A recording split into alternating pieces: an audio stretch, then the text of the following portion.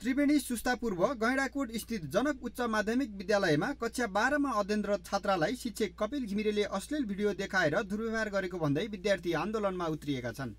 विद्यार्थीका अनुसार उक्त घटना चैत अठाइस गते भएको थियो। घटना मिलाउन दुई पक्षबीच छलफल हुँदै आएको थियो।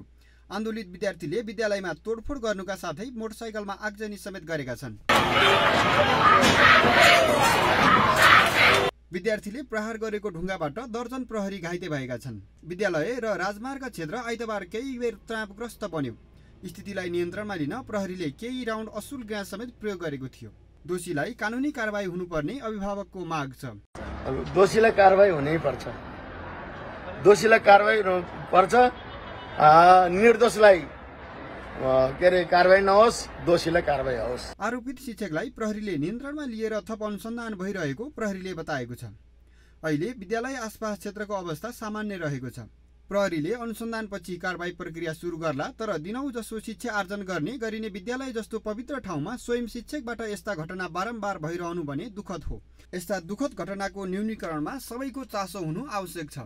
ग्लोबल टेलिभिजनका लागि कविन्द्र तिमसिना काठमाडौँ।